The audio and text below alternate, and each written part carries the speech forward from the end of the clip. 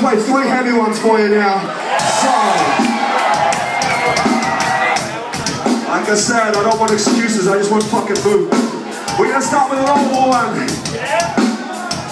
Get those feet going if you're not sweaty yet. What the fuck is wrong with you, Jesus?